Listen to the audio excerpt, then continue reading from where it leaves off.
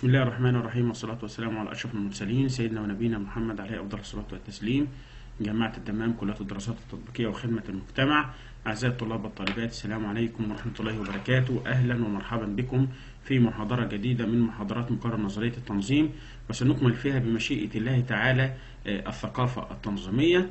آه، طبعا في المحاضرة آه، السابقة انتهينا من التنظيمات الافتراضية ودخلنا في الثقافة التنظيمية واتكلمنا بالتفصيل على آه، التنظيمات الافتراضية وقلنا التنظيمات الافتراضية دي تنظيمات آه، ليس لها مكان على الأرض آه، بتكون أكثر مرونة من التنظيمات آه، الرسمية وقلنا أمثلة لحضراتكم زي ما قلنا العلاقة بينه وبين حضراتكم آه، إحنا تنظيم لنا أهداف آه، معينة بنسعى إلى تحقيقها فحضراتكم بتسعوا إلى تحقيق آه، أو إلى اجتياز مقرر نظرية التنظيم. وبالتالي إحنا تجمعنا في الوقت الحالي هو تجمع آه، بيهدف إلى أهداف وبالتالي إحنا تنظيم. ولكننا نسمى تنظيم افتراضي. ليس لنا مكان ثابت. كل واحد فينا مش عارف التاني موجود فين. وبالإضافة إن في مرونة لحضراتكم اللي أنتوا تختاروا الوقت المناسب لحضراتكم ممكن تشاهدوا في المحاضرة. بالإضافة اللي أنا آه، بختار الوقت آه، المناسب بالنسبة لي اللي أنا أشرح فيه لحضراتكم المحاضرة. فهي تنظيمات بتكون قائمة على المرونة آه، الشديدة في العمل آه، سواء كانت مرونة في اختيار التوقيت أو خلافه. آه، وبعد كده اتكلمنا آه، عن الثقافة التنظيمية. دخلنا في قضية الثقافة التنظيمية واتكلمنا في الثقافة التنظيمية الثقافة التنظيمية بدأنا في مفهوم الثقافة. وقلنا آه، مفهوم الثقافة هي آه، معتقدات وأفكار وآراء وأعراف وتقاليد ولغة ولهجة آه، ممكن تميز شخص عن باقي الأشخاص أو تميز آه، آه، منطقة معينة عن باقي المناطق أو مجتمع كامل عن باقي آه، المجتمعات. وتكلمنا في هذه الجزئية آه، بالتفصيل وقلنا إن الثقافة فيها جزء معنوي وجزء مادي. جزء معنوي اللي هو آه، جزء غير ملموس اللي هو عادات تقاليد أفكار آراء. آه، دوت آه، دي كلها بنسميها الجزء المعنوي الخاص بالثقافة. لما بنتكلم على الثقافة أو الجزء المادي المتعلق بالثقافة بنتكلم عن آه، الزي المواصلات ال- ال- آه، طريقة ال- المعمار الأدوات والآلات اللي بتستخدم داخل مجتمع ولم تستخدم في مجتمع آخر. دوت ما يسمى بالجزء المادي المتعلق آه، بالثقافة. فالثقافة عبارة عن معلومات ومعتقدات وأخلاق وأعراف وتقاليد ولهجة و- ولهجة ولغة آه، والقدرات والخصائص الأخرى التي يستطيع الإنسان أن يكتسبها بوصف عضوا في المجتمع. وقلنا إن حضراتكم آه، آه، الثقافة بيتم لا تولد مع الإنسان. فالثقافة ليست فطرية لا تولد مع الإنسان ولكن الثقافة تكتسب من خلال التفاعل مع آه، الآخرين. شخص أنشئ في البيئة السعودية فأكيد بيكتسب الثقافة السعودية وشخص آه، آه، في مجتمع آخر بيكتسب ثقافة هذا المجتمع. اتكلمنا عن عناصر الثقافة وقلنا اللي إحنا زي ما قلنا لحضراتكم اللي هو إيه الجزء المادي اللي هو الأفكار والمعارف والتقاليد وال- واللغة واللهجة. أما العناصر المادية زي الآلات والمعدات والطرق والمواصلات طبعا اتكلمنا عن هذه الجزئية بالتفصيل وقلنا لحضراتكم آه، آه، ومثلا آه، الزي زي ما هو مثلا الزي الخليجي هذا الزي يعد من الثقافة آه، الخارجية مش موجودة في مكان آخر وبالتالي هذا آه، يعد جزء أصيل من آه، الثقافة. آه، خصائص الثقافة قلنا لحضراتكم لها نظام مركب لها جزء مادي وجزء معنوي. الثقافة بتتطور أو الثقافة نظام متصل ونظام مستمر اللي إحنا قلنا لحضراتكم أن الثقافة آه، بتتوارث عبر الأجيال إن كل جيل بيحاول اللي هو بيرث الثقافة من آبائه ومن أجداده آه، ومش معنى اللي هي بيتم آه، توريثها معنى كده اللي هي غير متطورة ولكن الثقافة نظام متطور يعني بيتم و- آه، وراثة ال- الثقافة ولكن بالإضافة اللي هو ممكن يتم تطويرها وبيتم إجراء بعض التعديلات في هذه الثقافة. آه، وقلنا لحضراتكم إن الثقافة غالبا يعني ممكن تكون صعبة شوية في العادات والتقاليد والأفكار تغييرها أو تطورها بيكون صعب شوية ولكن الثقافة من حيث الجزء المادي أمر سهل جدا اللي هو التغير مع التغيرات الحياتية كلهم اللي إحنا بنعيشها. فإحنا آه، آبائنا أو أجدادنا من 200 سنة كانوا مثلا بيسكنوا في بيوت لها شكل محدد. هل البيوت النهارده ما اتطورتش؟ لا ده اتطورت والتطور النهارده يعد من الثقافة اللي موجودة. وزي ما حضراتكم شايفين المعمار بيختلف من دولة إلى دولة. ففي المملكة العربية السعودية من 200 سنة هل الناس كانت بتسكن في بيوت زي اللي إحنا بنكون فيها النهارده؟ طبعا في اختلافات. هل كانوا بيركبوا مواصلات أو ب- آه، بمواصلات محددة آه، زي اللي إحنا بنستخدمها النهارده؟ كان الأول بيستخدموا الحصان الجمال النهارده بنستخدم السيارات بنستخدم الطائرات دي كلها أجزاء آه، مادية من الثقافة. آه، إنما الثقافة العادات والتقاليد والأفكار أيضا بتتغير ولكن ممكن تغييرها بيحتاج وقت أطول آه، شوية. الثقافة قلنا لحضراتكم أن الثقافة ليست فطرية ولا تولد مع الإنسان ولكن الثقافة بشكل عام هي مكتسبة يتم اكتسابها من خلال التفاعل مع الآخرين. فالإنسان حسب نشأته هو أنشئ في أي بيئة من خلال تفاعله مع البشر أو الأفراد اللي موجودين في هذه البيئة بيتم اكتساب الثقافة اللي موجودة في هذه البيئة.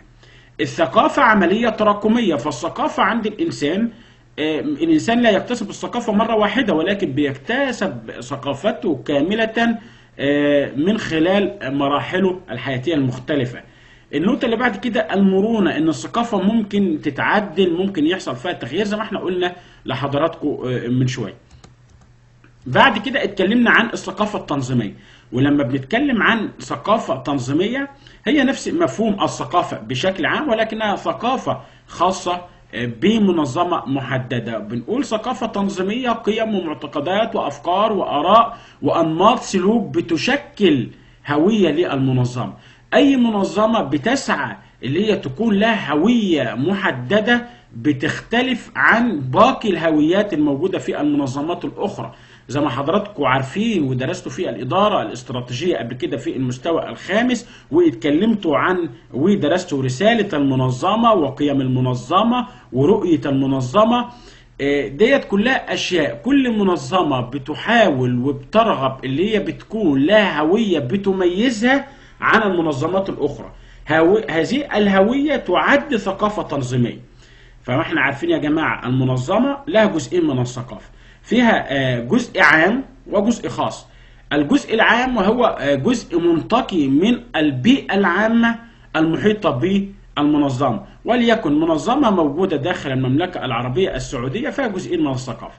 الثقافة العامة وهي الثقافة التي تحكم المملكة العربية السعودية بالكامل للعادات والتقاليد والأفكار والزي كل هذه الأمور تعد ثقافة إيه؟ ثقافة عامة ولكن المنظمة نفسها ممكن يكون عندها ثقافة تميزها عن ثقافة المنظمات المجاورة داخل المملكة العربية السعودية لا بتحدد أنماط سلوك الأفراد بشكل آه، يحدد هوية معينة للتنظيم ودوت الكلام اللي إحنا هناخده النهارده إن شاء الله وهندرسه مع بعض اللي هو في عندنا تنظيمات آه، بيروقراطية في تنظيمات إبداعية في تنظيمات آه،. في ثقافة آه، مساندة في ثقافة الدور في عندي أنواع من الثقافات الأنواع المتعددة اللي ممكن تميز منظمة عن منظمة أخرى في منظمة بتتمثل بمساندة الموظفين وفي ثقافة أخرى آه، أو منظمة أخرى لا تهتم بمساندة الموظفين دوت يعد ثقافة وديت تعد آه، ثقافة. فأي منظمة بتسعى إلى تكوين ت- تميزها عن باقي المنظمات. هذه الهوية بتحدد القيم والعادات والأفكار اللي المفترض يهتم بها العاملين داخل المنظمة. وكمان اتكلمنا في الجزئية ديت اللي هي المزايا التي تعود على المنظمة نتيجة الثقافة التنظيمية أو أهمية الثقافة التنظيمية بالنسبة للمنظمة. أهمية الثقافة التنظيمية أي منظمة بيكون لها هوية محددة. هذه الهوية لما تكون مفهومة لدى كل الموظفين داخل المنظمة دي شيء مهم جدا. يعني مثلا إحنا لما نكون ثقافة بيروقراطية والكل بيعلم ذلك جيدا إن أهم شيء عندنا هو التزام القانون اللي هو عدم إعطاء حرية للعاملين في اتخاذ أي قرار معين عندما يكون كل العاملين اللي موجودين داخل المنظمة فاهمين هذه الثقافة جيدا وعارفين إيه هي الهوية الخاصة بهذا التنظيم أكيد دوت بيساعد آه، المنظمة في أشياء كتير جدا اللي هو فهم العاملين لهذه الثقافة. إحنا بنحاول ننشر ثقافة خاصة بالمنظمة إن كل الموظفين بيؤمنوا بيها وفاهمينها جيدا وبالتالي دوت بيحدد كويس جدا للعاملين إيه اللي ممكن يعملوا وإيه اللي ممكن ما يعملوش داخل هذه المنظمة. فأهمية الثقافة التنظيمية اللي هي بتحقق الاستقرار التنظيمي بشكل آه، كامل. إن كل واحد داخل المنظمه عارف دوره كويس جدا عارف إيه هي حدود عمله إيه هي آه، بالنسبة الحرية اللي ممكن يعمل فيها اللي هو عطاهات اللي هو المنظمة وفرت له هذه الحرية. النقطة الثانية اللي هو بيحدد درجة المبادرة الفردية هل المنظمة فعلا بتتبع ثقافة قائمة على المبادرة داخل المنظمة وإن الموظفين يشاركوا في اتخاذ القرارات واللي إحنا مستخدمين سياسة الباب المفتوح داخل المنظمة ولا فعلا الثقافة اللي موجودة داخل المنظمة لا تشجع على المبادرة لا تعطي الفرصة للموظفين داخل المنظمة على آه، تقديم مقترحات لحل المشكلات اللي بيقابلوها. فديت ثقافة. فالثقافة بتحدد درجة المبادرة فحضرتك لما تكون شغال في منظمة معينة هذه المنظمة عندما تفهم آه، هل المنظمة بتشجع فعلا على مبادرة العاملين ولا لا؟ هل فعلا المنظمة بتستخدم سياسة الباب المفتوح واللي هم ممكن يسمعوا لآراء وأفكار كل الموظفين داخل المنظمة ولا ما عندهمش استعداد يسمعوا؟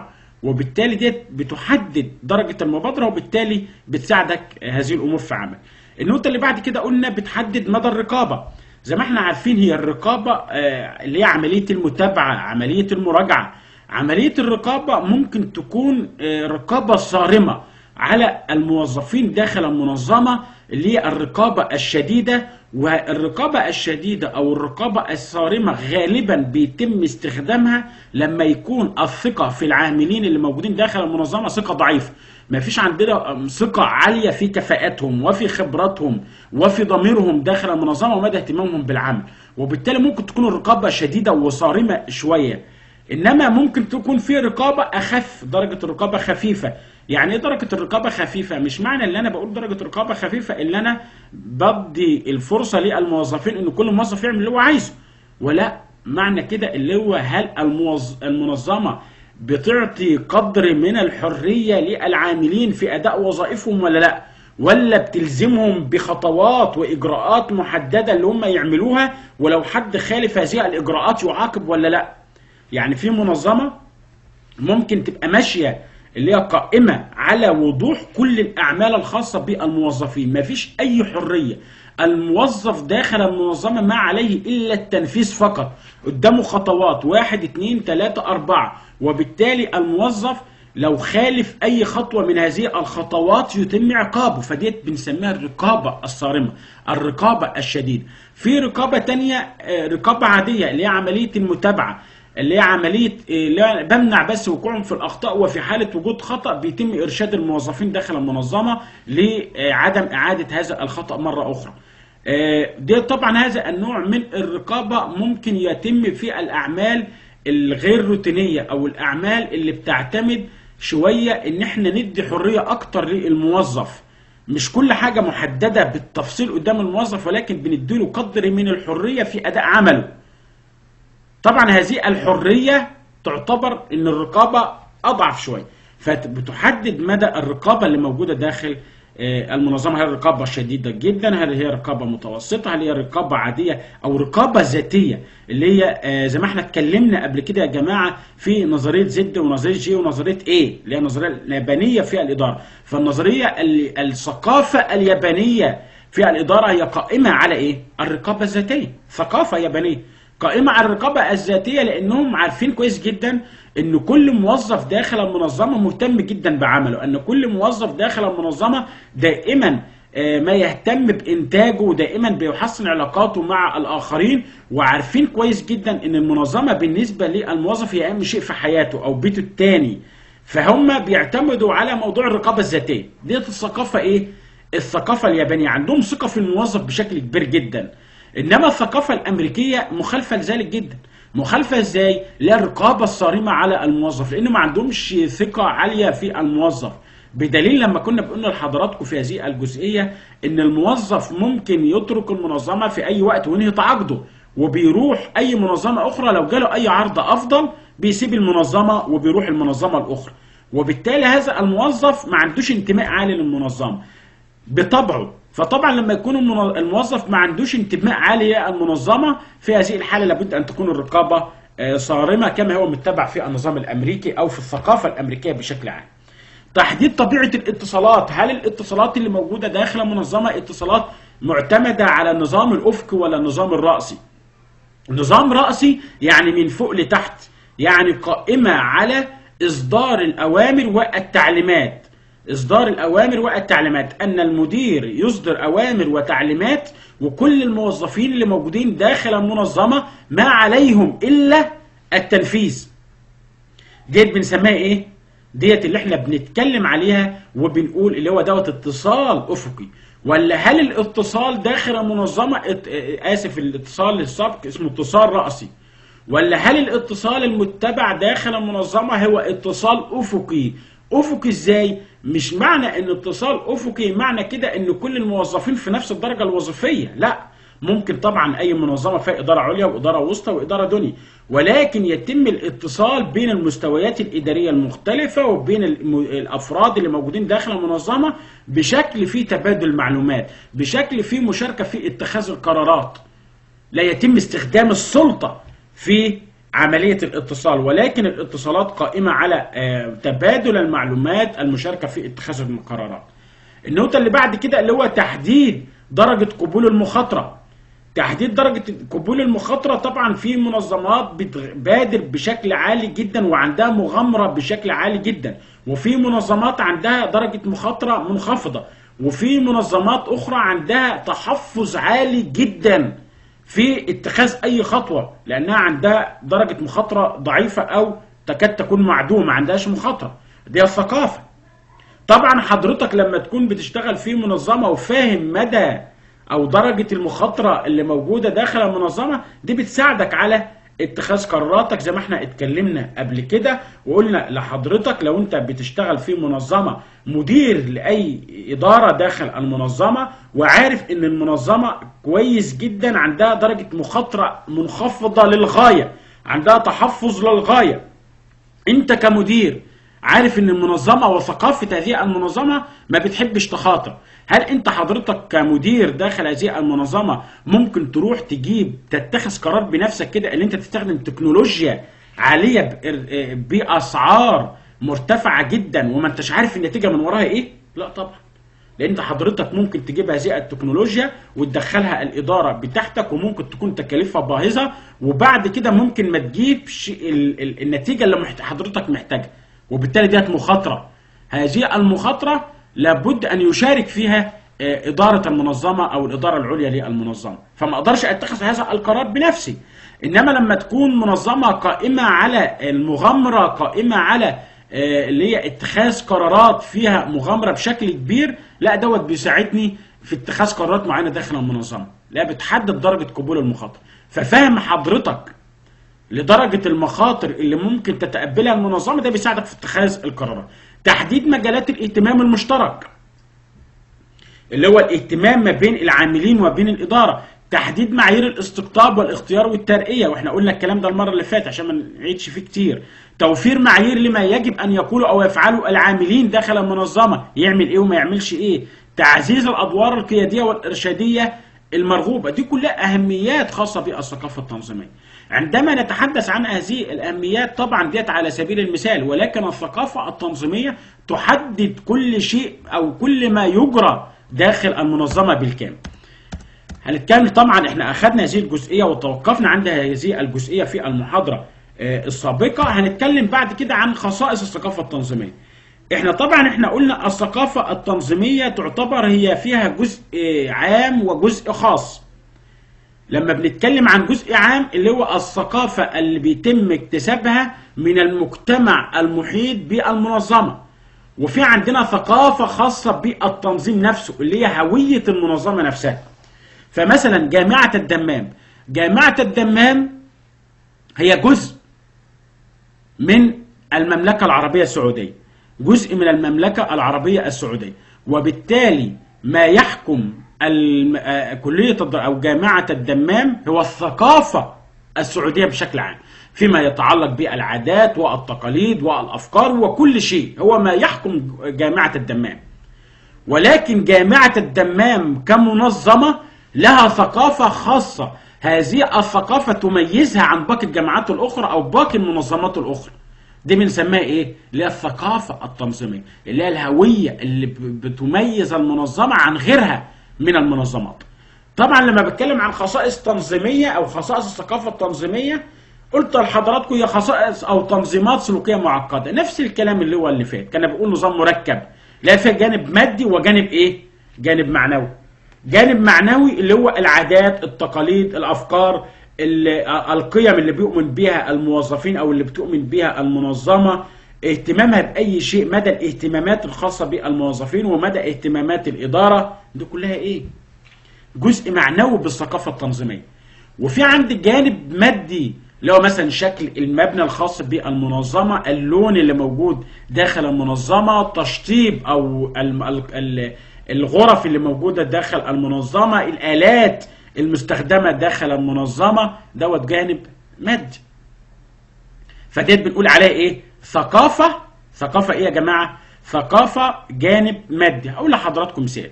ماكدونالدز وكنتاكي والماركات العالمية كلها الخاصة آه، بالأطعمة. لو شفت حضراتكم ماكدونالدز وكنتاكي ديت منظمات إيه؟ منظمات عالمية. موجود لها مطاعم وفروع كتير جدا في كل دول العالم في معظم دول العالم. طبعا ديت لها فروع موجودة داخل المملكة العربية السعودية. كنتاكي مثلا ليه ثقافة ليه ثقافة تنظيمية خاصة بيه. ثقافة تنظيمية خاصة بيه ممكن حضرتك وانت بتدخل ال- المطعم ليه ثقافة في الهوية الخاصة بكنتاكي. الهوية اللي هو شكل مثلا آه، ال- ال- الشعار اللي هو الخاص ال- بيه أو ال brand الخاص بكنتاكي دوت شكل معين. بتميزه عن باقي المنظمات. اللون المستخدم في تشطيب المباني المبنى الخارجي الخاص بالمطعم هو لون واحد في كل آه، دول العالم. الألوان المستخدمة داخل المطعم وخارجه ونظام الإضاءة دي هو الثقافة خاصة بكنتاكي. النظام تقديم الأطعمة والنكهة الخاصة بالأطعمة ديت أيضا ثقافة. دي بنقدر نقول عليها إيه؟ الجزء المادي الخاص بالثقافة.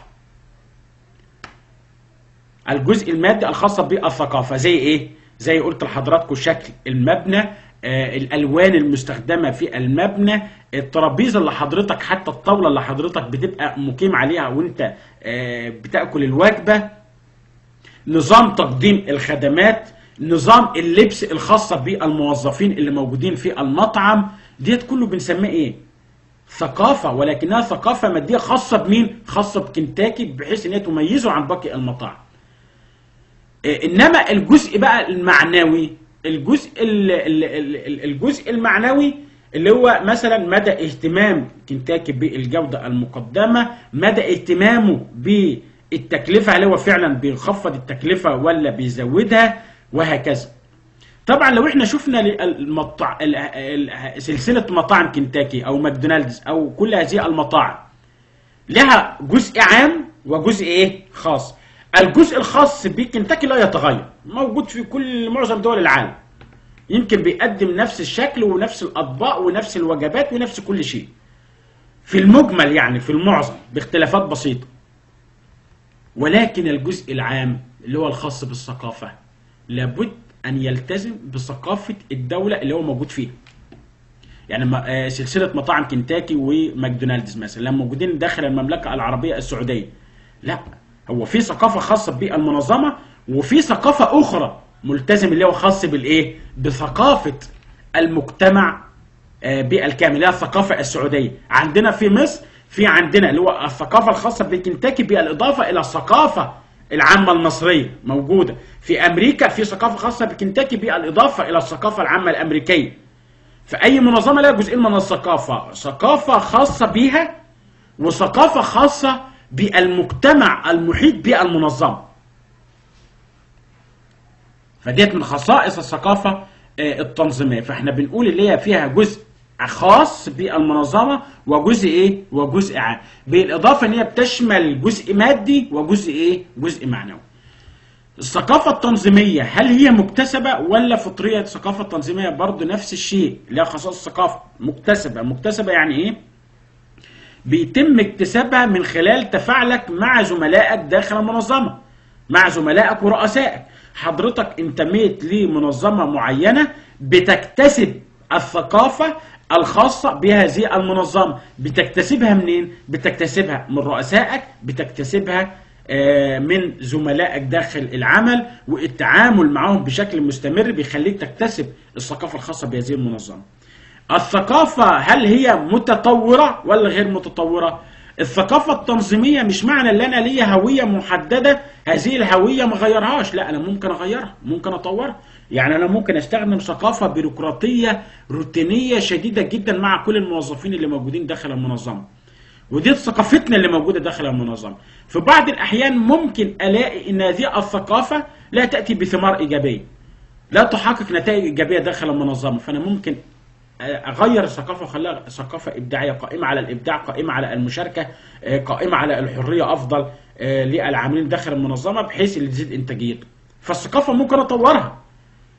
الثقافة بتتسم بالمرونة اللي أنا ممكن أعدل فيها تعديلات الثقافة متصلة اللي هي بتتوارث عبر الأجيال. حضراتكم شوفوا المنظمات الكبيرة آه، ممكن بقالها 100 سنة بتتبع نفس الثقافة مع بعض التعديلات ولكن الثقافة الأصلية ثابتة. منظمة كبيرة بقالها 100 سنة الإدارة اللي كانت بتدير مثلا من 50 و60 مش هي اللي موجودة النهارده. ولكن الإدارات الجديدة بتتوارث ثقافة المنظمة من الإدارات السابقة. فالثقافة متصلة. اللي الثقافة هي المتعب اللي بتعبر عن شخصية وهوية المنظمة. زي ما قلت لحضراتكم سلسلة مطاعم كنتاكي ماكدونالدز الكلام ده كله هي لها هوية. كل مطعم من هذه المطاعم لها هوية بيحاول إن هي تميزها عن باقي المنظمات. سواء في نكهة الطعام سواء في كيفية تقديم الوجبات سواء في البراند الخاص بالمنظمة بالكامل اللي هو الشعار بتاعها. لا علشان تميزها من المنظمة عن المنظمات الأخرى سواء كان في التكلفة في أي شيء. ديت اللي إحنا بنتكلم عنها اللي هي من خصائص الثقافة التنظيمية التعبير عن شخصية وهوية المنظمة. يبقى اتكلمنا عن خصائص الثقافة التنظيمية يعتبر نفسها هي نفسها خصائص الثقافة العامة اللي هي تنظيمات مركبة أو تنظيمات سلوكية معقدة مكتسبة متطورة مرنة متصلة بتعبر عن شخصية وهوية المنظمة. النقطة اللي بعد كده من خصائص الثقافة التنظيمية اتكلم على خصائص الثقافة آه، التنظيمية. خصائص الثقافة التنظيمية يا جماعة اللي هي زي ما بنتكلم بنقول اللي هي بتتأثر بثقافة المديرين التأثر بثقافة المديرين. وإحنا بنتكلم برضه في خصائص الثقافة التنظيمية بنقول إيه؟ اللي هي مكتسبة ومتطورة ومرنة. من ضمن الخصائص أيضا اللي هي بتتأثر بثقافة المديرين. طبعا هذه الثقافة الخاصة بالمديرين قد تختلف من شخص لشخص آخر. حضرتك بتعمل في منظمة معينة؟ بتعمل في منظمة معينة؟ هذه هذه المنظمة لها ثقافة معينة في نظام العمل لها هوية معينة في نظام العمل وجه مدير جديد. هذا المدير هذا المدير ممكن يحاول إنه يغير الثقافة العامة الخاصة بالمنظمة. ومش لازم يغير التغيير شامل ممكن يحصل أو يقوم ببعض التعديلات. وبالتالي إيه؟ هل هذا المدير قادر اللي هو يأثر على باقي المنظمة؟ طبعا من وضعه ومن سلطته ومن كرزقه الوظيفي ممكن يقوم ببعض التعديلات الخاصة بثقافة المنظمة. وبالتالي بنقول التأثر بثقافة المديرين. زي إيه؟ ممكن تكون منظمة معينة. هذه المنظمة من هويتها والقيم اللي بتؤمن بها اللي هي تقديم أفضل جودة للعملاء. بغض النظر عن التكلفة ثقافة. يقول لك أهم حاجة إحنا بنقدم جودة وكل أعمالنا مركزة على الجودة الفنية. اللي إحنا نحقق كل احتياجات ورغبات العملاء ونحقق لهم جودة فنية ومتانة عالية جدا خاصة بالمنتج بتاعنا بشكل يميزنا عن كل المنتجات اللي في السوق. ثقافة. فجه مدير جديد قال والله إحنا الحالة العامة للمجتمع مثلا المستوى الاقتصادي تدنى الناس دخلها أقل وبالتالي إحنا لازم نطور شوية في الثقافة بتاعتنا. نطور إزاي؟ مش معنى نطور اللي إحنا نهدم الجودة ولكن اللي إحنا ممكن نخفض شوية في مستوى الجودة اللي عندنا بحيث اللي إحنا نتمكن اللي إحنا نخفض التكلفة وبالتالي اللي إحنا نقدر نعمل إيه؟ نبيع المنتج بتاعنا بسعر منخفض يتلائم مع الظروف الاقتصادية الجديدة. مش المدير ممكن يعمل كده المدير ممكن يعمل كده. وبالتالي هو مش غير الثقافة كليا هو حاول يعمل بعض التعديلات اللي فيها عند الموظفين وعند الإدارة وعند آه، المنظمة بالكامل. اللي هو حاول يعدل في مستوى الجودة ومثلا ويعدل في آه، التكلفة اللي موجودة. ان من خصائص الثقافة التنظيمية أصلا طبعا هي أقل شمولا من الثقافة القومية. هي الثقافة القومية خاصة بمجتمع كبير جدا وبالتالي إدارته صعبة.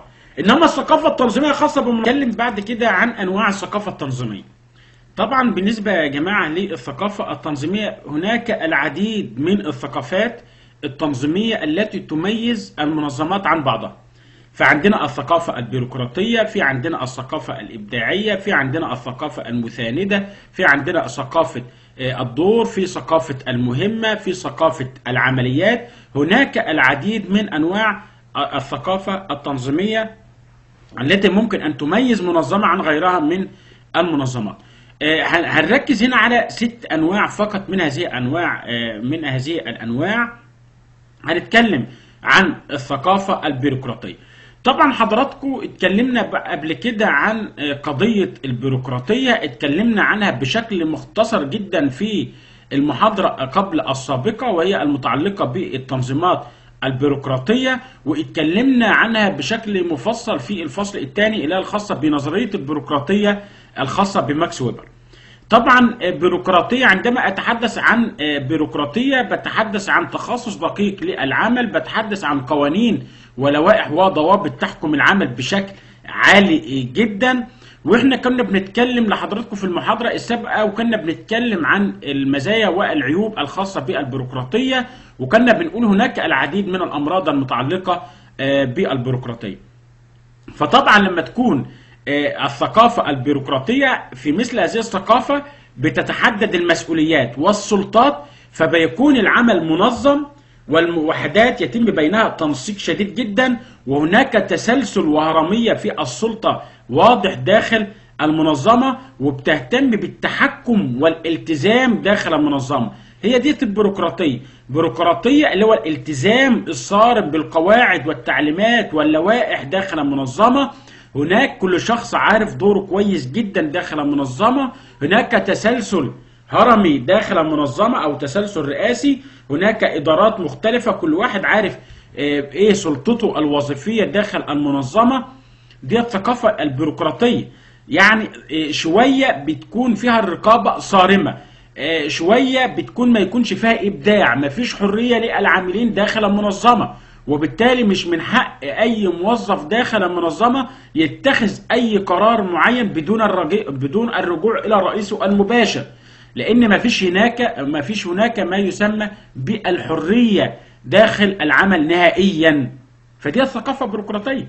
حضرتك لو بتعمل في منظمة بتلتزم بهذه الثقافة أكيد هتلتزم بيها.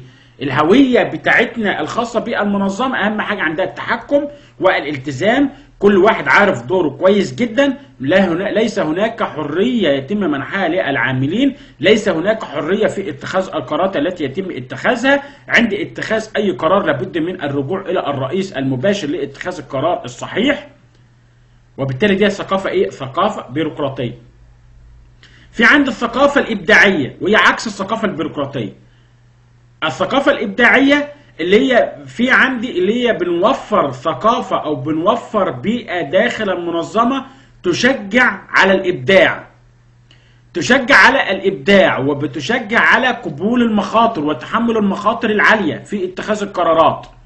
طبعا هذه الثقافة بتكون فيها حرية أكبر للعاملين داخل المنظمة ما بيكونش فيها التحكم شديد جدا بالمركز الوظيفي بيكون هناك الاعتماد بشكل أكبر على آه، الخبرة بيكون هناك تبادل معلومات وخبرات بشكل أعلى من المركز الوظيفي أي أن الاهتمام بالخبرة في العمل أهم من الاهتمام بالمركز الوظيفي بيكون هناك إنصات لكافة آراء العاملين داخل المنظمة بيكون هناك مشاركة لكافة العاملين داخل المنظمة في اتخاذ كافة القرارات المتعلقة بالمنظمة لضمان الوصول إلى القرار الناجح. يبقى ديت بنقول عليها ثقافة إبداعية.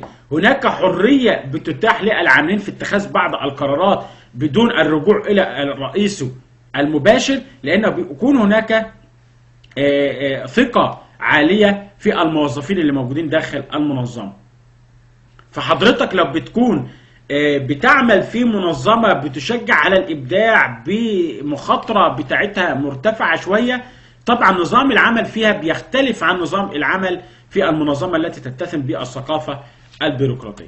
في عندنا أيضا الثقافة المساندة وثقافة العمليات.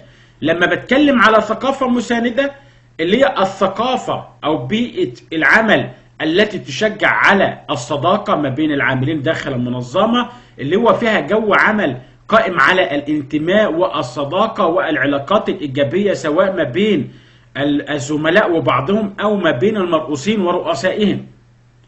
يعني هنا بيكون فيه جو أكثر ثقة بيكون فيه جو جو أكثر ارتياحا بالنسبة للعاملين داخل المنظمة حضرتك العلاقة بينك وبين رئيسك قائمة على الود وقائمة على الصداقة والإحترام. مش معنى كده اللي أنا آه، لا لا لا أطيع آه، رئيسي في أوامره.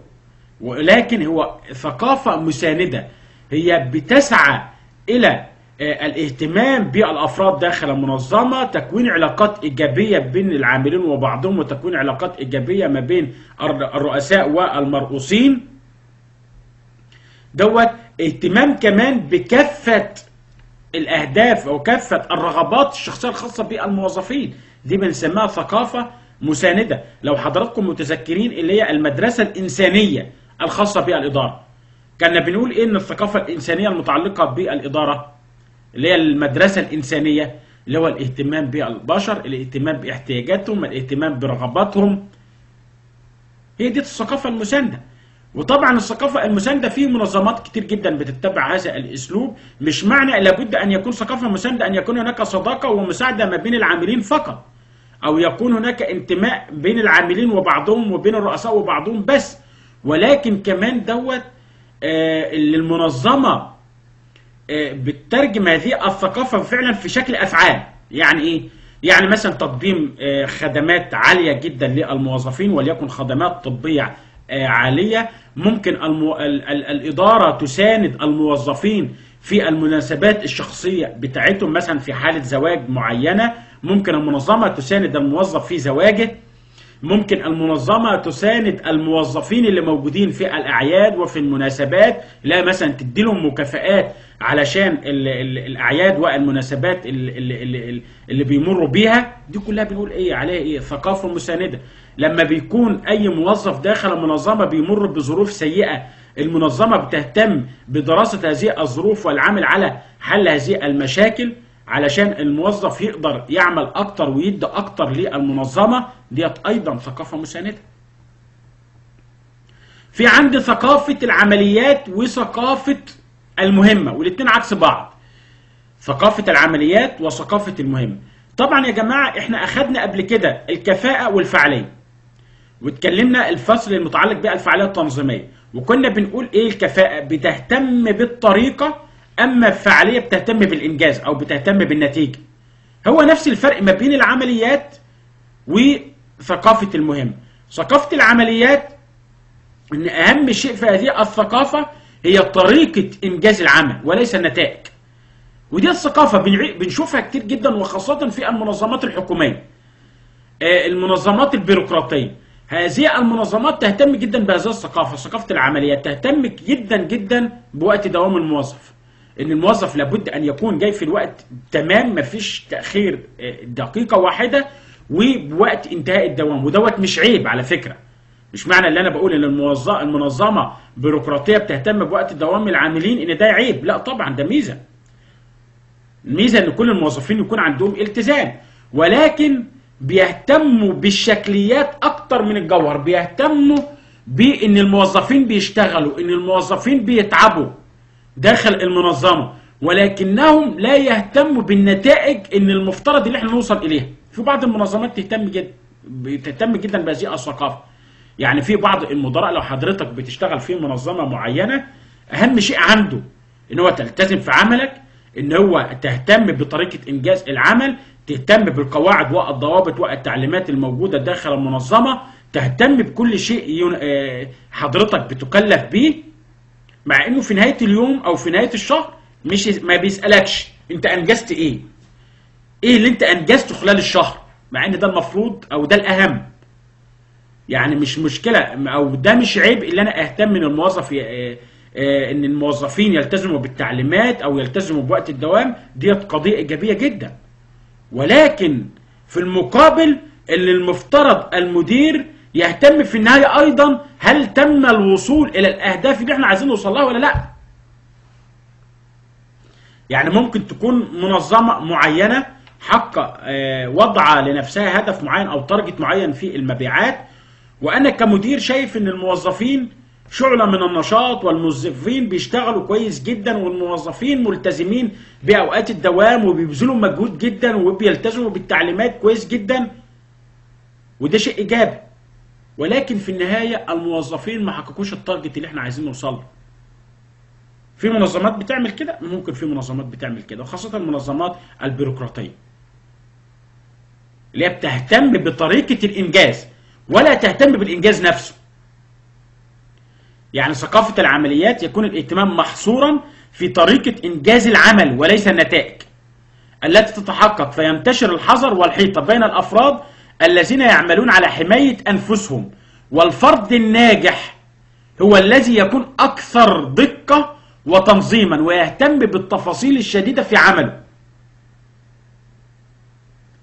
طبعا مش معنى إن دوت ثقافة العمليات إن هي ثقافة سيئة ولكن المفترض اللي إحنا نهتم بالعمليات ونهتم بالمهمة مش بنهتم بالعمليات على حساب المهم.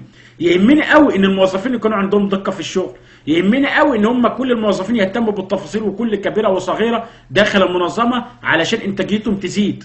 ولكن في النهاية لابد دوت كله بالكامل أن يصب في تحقيق مصلحة المنظمة عن طريق تحقيق الأهداف اللي إحنا عايزين نوصل لها أصلا. مش نهتم بالتفاصيل نهتم هيكون عندنا دقة وهكذا وفي نفس الوقت ما نوصلش للنتيجة اللي إحنا عايزينها. الوصول للنتيجة قد يتطلب إبداع. أنا ممكن أكون ملت- ملتزم جدا في عملي ممكن أكون ببذل مجهود شاق جدا في العمل ولكن ما بوصلش النتيجة ما بوصلش النتيجة ليه؟ ممكن أكون ما بوصلش النتيجة لأن أنا عندي مهاراتي وخبراتي قد تكون ضعيفة. ممكن ما بوصلش نتيجة ليه؟ لأن ممكن أكون قدرتي على الإبداع مش عالية. أو ممكن تكون المنظمة عطيالي تعليمات وضوابط ما أقدرش أخالفها. وقد يكون الضوابط اللي موجودة عليا داخل المنظمة هي السبب في عدم إنجازي للأهداف بتحصل؟ بتحصل. يعني في موظفين جدا ممكن يكون يأتي لهم فرص بتحقيق مزايا إيجابية عالية جدا للمنظمة اللي هم بيشتغلوا فيها ولكن الضوابط والتعليمات والروتين اللي موجود داخل المنظمة دوت قد يمنعهم من هذا الإنجاز. علشان ما يخالفوش القانون. وثقافة العمليات دي بتكون اللي هي يعني إيه مرتبطة شوية بالثقافة البيروقراطية. أنا قلت لحضراتكم ثقافة البيروقراطية عبارة عن إيه؟ قواعد وتعليمات وضوابط وتحكم وسيطرة من قبل الرؤساء على المرؤوسين. روتين شديد جدا في العمل.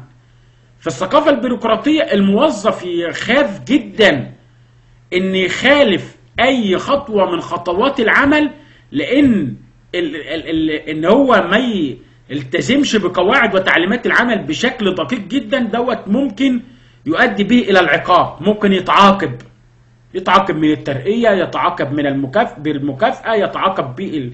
بالفصل من المنظمة وبالتالي المو- الموظف بيكون حريص على مصلحته الشخصية بشكل كبير.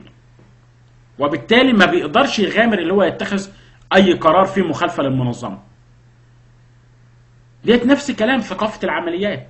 ثقافة العمليات هي ثقافة بتهتم جدا بالدقة في العمل. تهتم جدا ببذل المجهود الكبير جدا من قبل الموظفين.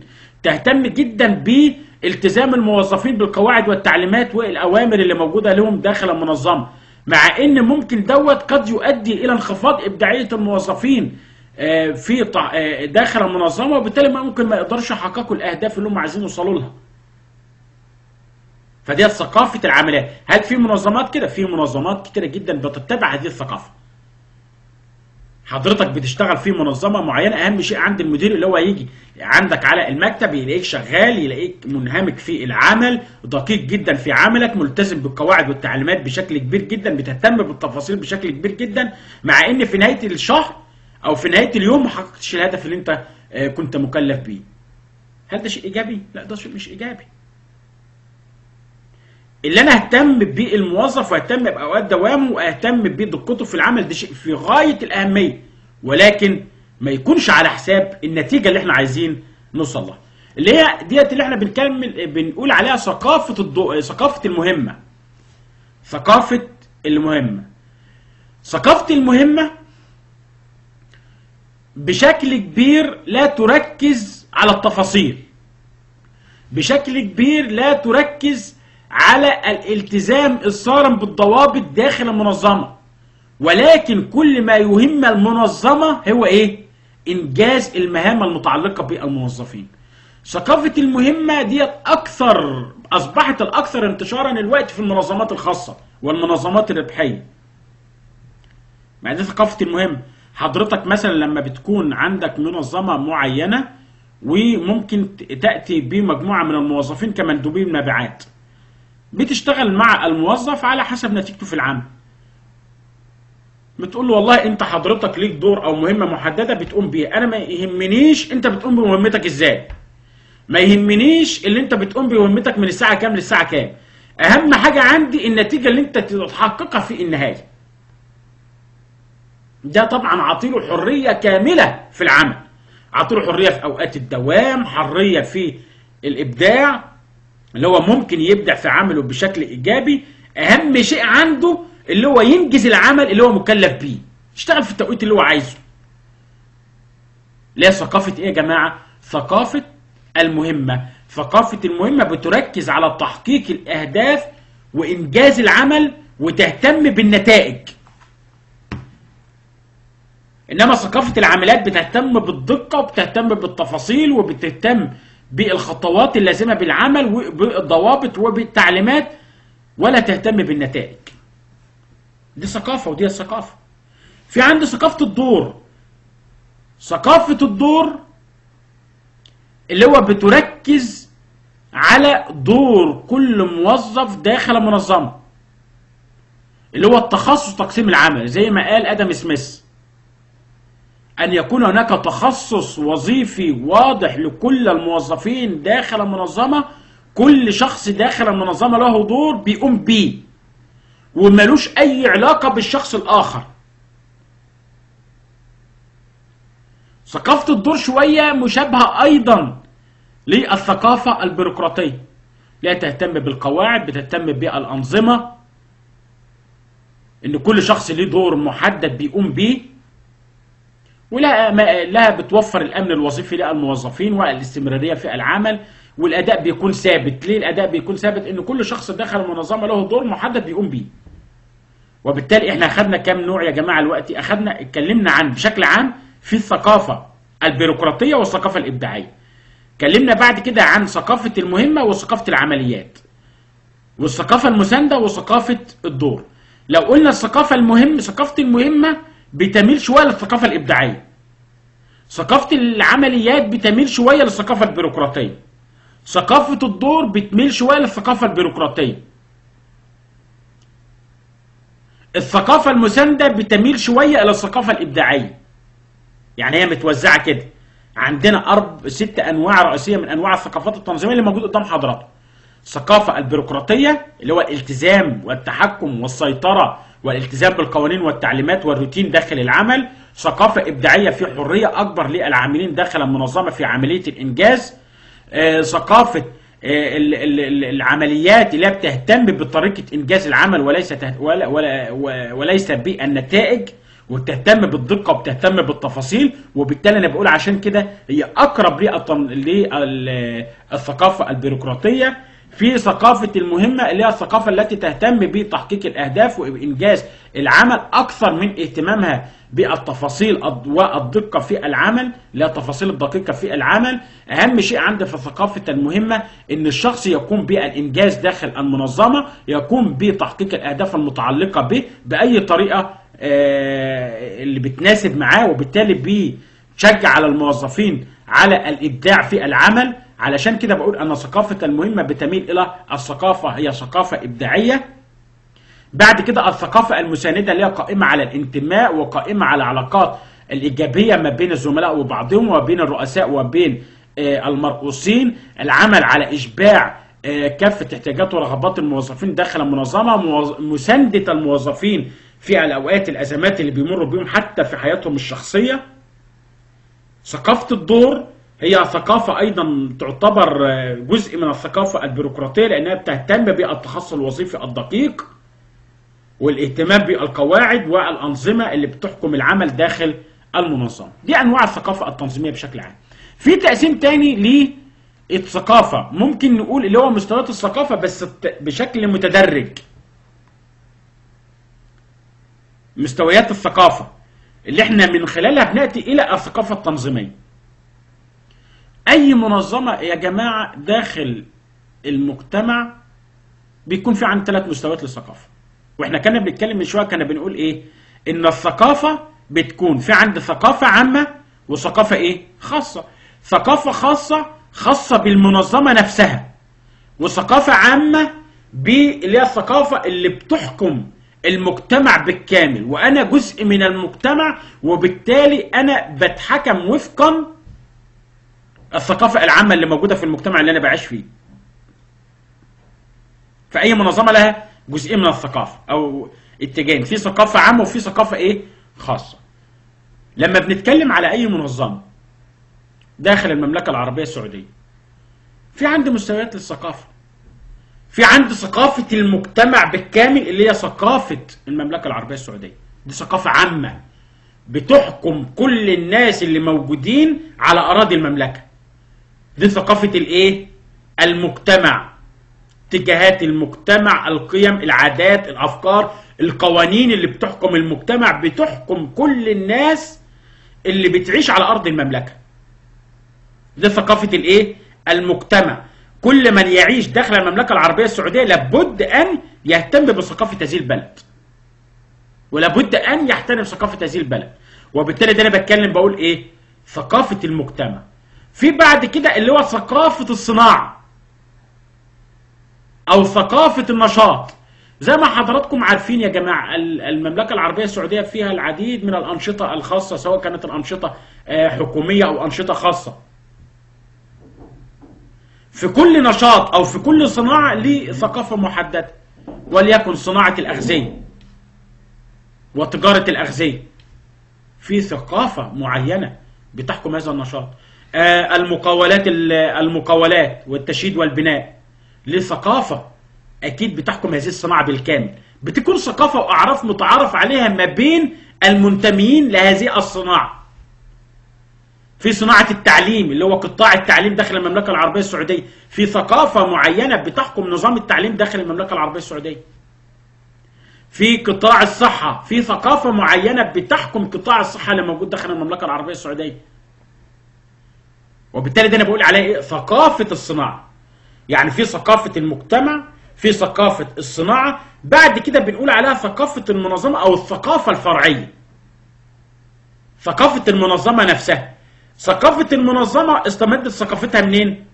من ثقافة الصناعة اللي بتنتمي ليها أنا كجامعة الدمام استقيت ثقافة جامعة الدمام منين؟ من ثقافة التعليم العالي داخل المملكة العربية السعودية.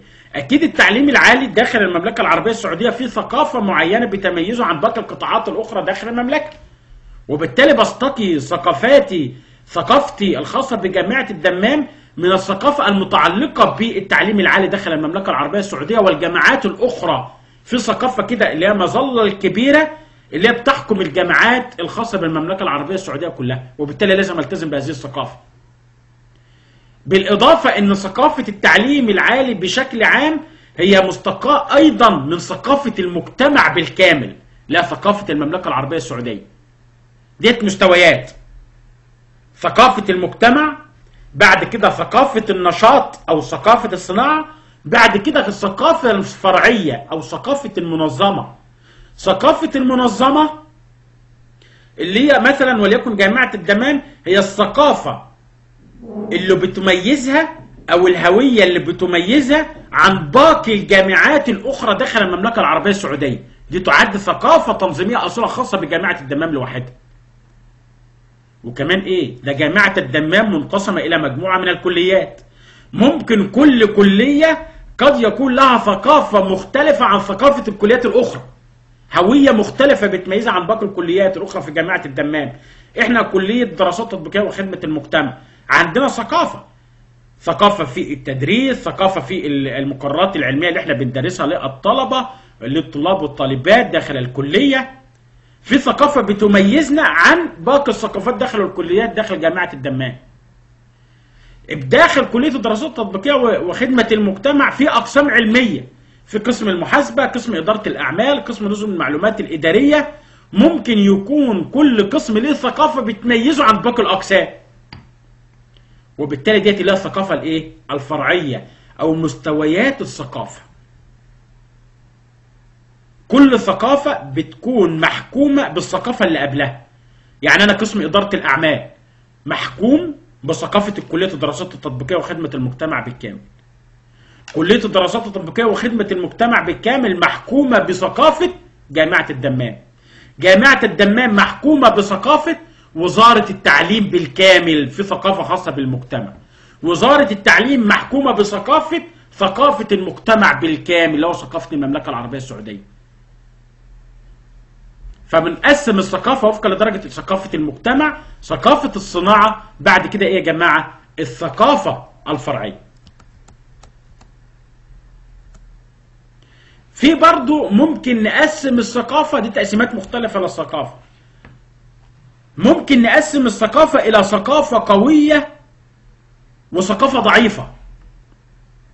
ثقافة قوية وثقافة ضعيفة. لما بنتكلم على ثقافة قوية بتشترط حاجتين. إن يكون في توافق عليها النقطة الثانية إن يكون في التزام عالي بيها. ديت الثقافة القوية. ما في منظمة ممكن تلاقي حضراتكم ثقافة أو الهوية بتاعتها هوية قوية جدا. قوية جدا إزاي؟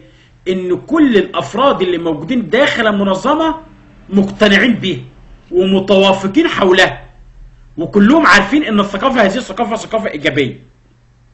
فدرجة التوافق بها درجة عالية درجة عالية من التوافق. وفي نفس الوقت في التزام عالي بهذه الثقافة. وبالتالي نقدر نقول على هذه الثقافة إيه؟ ثقافة قوية. هذه الثقافة القوية لها تأثير بالغ الأهمية على المنظمة. فعلا هذه الثقافة هي التي تزيد إنتاجية الموظفين فعلا هي اللي بتحقق الاستقرار الوظيفي فعلا هي اللي بتحدد ما يقوله العاملين داخل المنظمة ما يفعلوا أو ما لا يفعلونه. لما بيكون في توافق بين العاملين داخل المنظمة بالكامل حول ثقافة معينة متفقين عليها وفي نفس الوقت في التزام من قبل كافة العاملين داخل المنظمة بهذه الثقافة وبالتالي نقول عليها ثقافة قوية ثقافة مؤثرة. إنما الثقافة الضعيفة ممكن ما يكونش فيها عدم اتفاق ما يكونش فيها حولها عدم اتفاق. يعني كل الناس اللي بتشتغل داخل المنظمة مش متفقين عليه. في ناس مؤمنة بهذه الثقافة وفي ناس تانية مش مؤمنة بيها مش ده بيؤدي إلى ضعف الثقافة؟ بيؤدي إلى ضعف الثقافة. أو ممكن يكون في عدم التزام من قبل العاملين داخل المنظمة بهذه الثقافة. هي آه فيها هوية للمنظمة بتحكمنا ولكن إحنا مش ملتزمين بها. ده كلام على ورق. يبقى ثقافة إيه؟ ثقافة ضعيفة. فالثقافة الضعيفة ممكن يكون في حولها عدم اتفاق أو عدم التزام. يعني لما أجيب لكم في الاختبار كده وأقول لحضراتكم في الاختبار أي ثقافة تنظيمية متفق عليها من قبل العاملين فهي ثقافة قوية. صح ولا غلط؟ أي ثقافة متفق عليها من قبل العاملين داخل المنظمة فهي ثقافة قوية. طبعا الاجابه غلط. مش أي ثقافة. لأن شروط الثقافة القوية إيه؟ إن يكون في توافق ويكون في التزام. ما إحنا ممكن نكون متوافقين إن فعلا هذه الثقافة إيجابية وثقافة رائعة جدا وليكن ثقافة الجودة الثقافة الإبداعية الثقافه البيروقراطية ثقافة الدور ثقافة المهم بس إحنا مش ملتزمين بيها كون اللي إحنا مش ملتزمين بيها تبقى ثقافة ضعيفه تبقى ثقافة غير مؤثرة على أعمال المنظمة. إنما الثقافة القوية هي الثقافة اللي بيكون فيها شرطين. الشرط الأول إن في اتفاق ما بين كافة العاملين داخل المنظمة بها الشرط الثاني إن يكون في التزام بكافة العاملين داخل المنظمة بهذه الثقافة. وبالتالي أنا أقدر أقول عليها ثقافة قوية. بعد كده آخر نقطة هنتكلم فيها عن تغيير الثقافة. تغيير الثقافة. إحنا وإحنا بنتكلم يا جماعة من شوية كنا بنقول إن الثقافة متطورة. يعني إيه متطورة؟ اللي إحنا ممكن نطورها ممكن نغيرها. إزاي نغير الثقافة التنظيمية؟ في عندي مدخلين رئيسيين لتغيير الثقافة التنظيمية. ممكن أغير الثقافة من القمة إلى القاعدة. وممكن أغير الثقافة من القاعده من القاعدة إلى القمة يعني من فوق لتحت أو من تحت لفوق. هناخد المدخل الأول اللي هو مدخل التغيير من القمة إلى القاعدة. طبعا من القمة إلى القاعدة يعني إيه؟ إن التغيير يأتي من القادة أو من المدراء أو من المدير داخل المنظمة من قاده المؤسسة. يعني التغيير يأتي من فوق لتحت. يعني مثلا حضرتك بتشتغل في مجال معين أو مدير ممتاز في مجال معين وحضرتك ليك فكر معين وثقافة معينة وهذه الثقافة فعلا ناجحة. وعلشان حضرتك انت ناجح في إدارة المنظمة معينة إحنا استعنا بيك في إدارة منظمة أخرى. تم نقلك لمنظمة أكبر. قلنا لحضرتك علشان انت عندك خبرة عندك قدرة على الإدارة بشكل رائع عندك ثقافة إيجابية جدا ممكن تفرضها على الموظفين فاحنا عايزين حضرتك تتنقل لمنظمة أخرى أكبر علشان تديرها بشكل فعال. فأنت طبعا أول ما دخلت المنظمة فيها ثقافه مش عاجباك فأنت عايز تغيرها أو عايز تطورها تعمل إيه؟ اللي انت قدامك طريقتين. اللي انت تغير من القمة إلى القاعدة. يعني إيه؟ من القمة للقاعدة يعني اللي انت تمارس سلطتك على الموظفين. اللي انت تفرض ثقافة معينة على الموظفين أو أوامر وتعليمات وقوانين ولوائح على الموظفين الكل ملتزم بيها. غصب عنه دخل المنظمة. انت كده مارست إيه؟ سلطتك. اللي هو التغيير من فوق لتحت يعني تغيير قائم على استخدام السلطة في عملية التغيير. اللي هو قائم ممكن على التهديد. لو حضرتك مش مقتنع بالثقافة اللي أنا عايز أغيرها حضرتك أهلا وسهلا إحنا هنفصلك من المنظمة. أو هنحرمك من الترقية. أو هنعاقبك بانخفاض المكافئات والحوافز. أنت هنا بتعمل إيه؟ بتحاول تغير داخل المنظمة بس التغيير قائم على السلطة. طبعا الميزة الرئيسية في هذا التغيير ان هو سريع.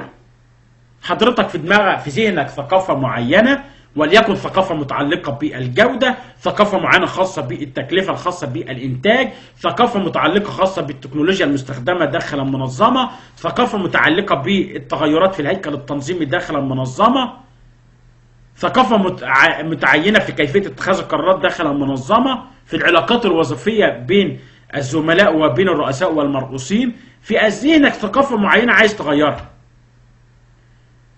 ممكن تغير عن طريق تعميمات. حضرتك تقعد وتكتب تعميم هذا التعميم نوزعه على كل الموظفين داخل المنظمة وكل الموظفين مجبرين على تنفيذه. ده طبعا شيء فيه ميزة. إيه الميزة اللي موجودة فيه السرعة؟ اللي مفيش مناقشة. طبعا المناقشة والمشاركة ممكن تاخد وقت طويل واللي انت تقنع الموظفين كل هذه الأمور ممكن تاخد وقت طويل جدا. إنما أنت عايز تغير وتغير بسرعة. التغيير بسرعة يتطلب استخدام السلطة ولكن في عيب خطير.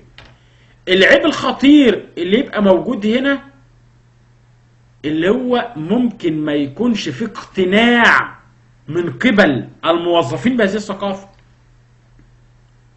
هم هينفذوا أي نعم. وهينفذوا الثقافة اللي حضرتك عايز تفرضها عليهم خوفا منك. ولكن ما عندهمش اقتناع تام بيها. هل دي تعد ثقافة قوية؟ تعد ثقافة ضعيفة. وبالتالي لو ثقافة ضعيفة مش ممكن تتغير بسهولة أو ممكن ما تستمرش طويلا معنى كده طالما إن ما فيش اقتناع حولها معنى كده إن الثقافة ممكن ما تستمرش لفترة زمنية طويلة. إنما التغيير من القمة إلى القاعدة يعني إيه من القمة إلى القاعدة؟ اللي أنا بجتمع كمدير مع المرؤوسين باخد آرائهم بشاركهم في اتخاذ القرارات وبنحاول نغير مع بعض لثقافة معينة تتوافق معانا كلنا. دي تعد ثقافة إيه؟ أقوى. لأنها قائمة على المشاركة. اللي أنا اتخذت كل رأي الموظفين فيها أو عملت لهم استبيان وحققت لهم فعلا رغباتهم وأهدافهم. فأنا عملت هنا إيه يا جماعة؟ عملت أو غيرت الثقافة كلنا متوافقين عليها. طالما كلنا متوافقين عليها شوية هتكون أقوى. ولما تكون أقوى هتستمر لفترة زمنية طويلة. ديت ميزة. ولكن العيب في الثقافة أو التغيير من القمة من القاعدة إلى القمة اللي هو إيه؟ اللي هو ممكن ياخد فترة طويلة. ولكنها من الميزة اللي ممكن تعيش طويل مثال حضرتك ممكن تكون بتشتغل في منظمة معينة وهذا جالكم مدير جديد. المدير الجديد دوت ممكن يمارس الاتجاهين عنده ثقافة معينة. ممكن دخل عليكم المنظمة وعمل تغيير جذري داخل المنظمة نتيجة ثقافته الجديدة ممكن هذه التغيرات حضراتكم مش مقتنعين بها أنتم كموظفين نهائيا أنتم مجبرين على تنفيذها لأنه استخدم سلطته فأنتم مجبرين فأنتم بتنفذوا ولكن هل هذه الثقافة تستمر طويلا؟ مش هتستمر طويلا ليه؟ لأن أنتم مش مقتنعين بيه هل هذا المدير هيفضل مدى الحياة مدير لهذه المنظمة؟ ممكن في أي فترة يمشي أو يروح لمنظمة أخرى. لو اتغير هذا المدير أو استقال أو ذهب أو راح في أي مكان معين معنى كده إن المنظمة مش هتستمر الثقافة مش هتستمر وراه. أي مدير آخر عندما يأتي هيغير الثقافة ويغير كل شيء. وبالتالي ديت عيوب كبيرة جدا. إنما لما تكون الثقافة فيها توافق يعني تخيل إن المدير دوت جه أخذ رايكم وعملت كل شيء باقتناع وغيرته بشكل فيه توافق جدا ما بين العاملين داخل المنظمة معنى كده إن هذه الثقافة قابلة للاستمرار لفترة زمنيه طويله حتى لو المدير دوت مشى واتغير وجالكم مدير جديد. ممكن الثقافة تستمر مع المدير الجديد كمان.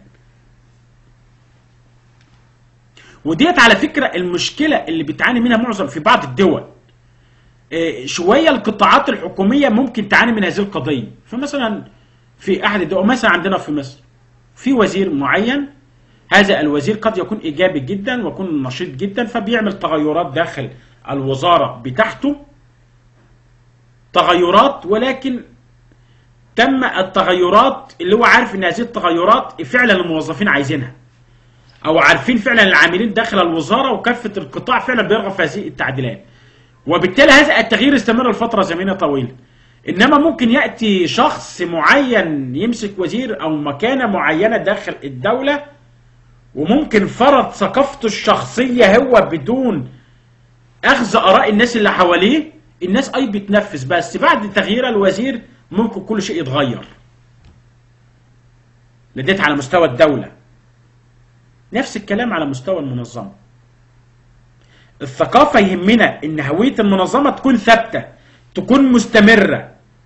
ثبات المنظمة واستقرارها أو ثبات الثقافة واستمرارها دوت لابد لن يتأتى إلا من خلال مشاركة العاملين في تغيير هذه الثقافة.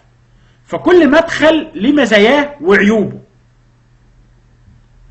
لو التغيير من القمة للقاعدة دوت قائم على استخدام السلطة. ميزته اللي أنا بكون محتاج التغيير بشكل سريع.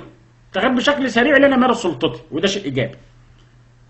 إنما عيبه الخطير إن هو ممكن ما يستمرش لفترة طويلة لأن ممكن يكون الموظفين مش مقتنعين بهذا التغيير. إنما التغيير من القاعدة إلى القمة اللي هو قائم على مشاركة العاملين في اتخاذ القرار اللي أنا أجمع معلومات منهم اللي أنا أضمن تأييدهم لهذا التغيير وبالتالي أضمن إن الثقافة هتستمر فتره زمنية طويلة. ولكن يعيب هذا المدخل إن هو ممكن ياخد فترة زمنية طويلة. دوت اللي إحنا قلناه الميزة والعيب. في نؤكد لازم نأكد على حاجتين اللي إحنا ممكن نجمع ما بين المدخلين.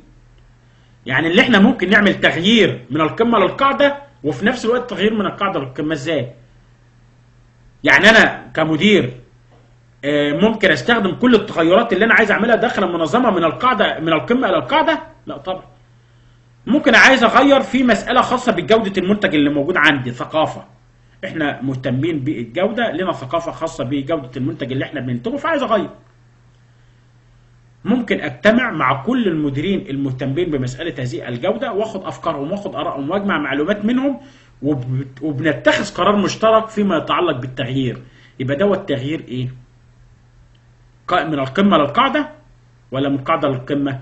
لا ده يعني دوت تغيير مشترك من القاعدة إلى القمة. جمعت معلومات من الناس وبناء على المعلومات اللي أنا جمعتها اتخذنا القرار سويا بعملية التغيير.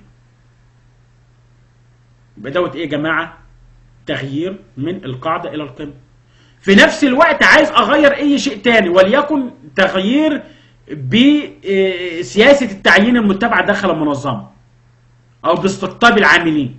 ممكن هذا التغيير أفرض عليه سيطرتي اللي أنا يتم التغيير من القاعد من القمة إلى القاعده يبقى في تعميم ووزع على كل العاملين ويتم التنفيذ فوري. يعني مش لازم التغيير من القاعده إلى القمة أو من القمة إلى القاعدة لازم أستخدم أحد المدخلين لا أنا ممكن أستخدم المدخلين مع بعض. بس كل مدخل في آه، وظيفة معينة. أو ممكن أجمع ما بين المدخلين في حاجة واحدة. إزاي؟ أنا عايز أغير مستوى الجودة. داخل المنظمة. اللي أنا بجمع المعلومات وأعمل اجتماعات مع الموظفين داخل المنظمة وبجمع منهم كافة المعلومات وبتعرف على آرائهم وب- وبعرف كل آرائهم اللي موجودة خاصة بهذا الموضوع. وبعد ما بجمع البيانات والمعلومات هم ما شاركنيش في اتخاذ القرار. ما عملناش تصويت يعني. من يتخذ القرار القرار في النهاية؟ أنا. وبالتالي اللي أنا أعمل إيه؟ اللي أنا أشوفه مناسب في التغيير أنفذه وفقا للمعلومات اللي أنا جمعتها. كده أنا يعتبر جمعت ما بين المدخلين. دي عملية تغيير الثقافة. طبعا إحنا بكده يا جماعة نكون أنهينا المحاضرة بتاعتنا آه، النهارده خلصنا كده الثقافة التنظيمية. يتبقى لنا آه، التغيير التنظيمي إن شاء الله آه، في المحاضرة القادمة وفي موضوعات تانية هناخدها إن شاء الله في المحاضرات نتكلم على الولاء التنظيمي والدعم التنظيمي. في نهاية محاضرتنا النهاردة نتمنى يكون الموضوع سهل بالنسبة لحضراتكم ونراكم على خير في المحاضرة القادمة. والسلام عليكم ورحمة الله وبركاته.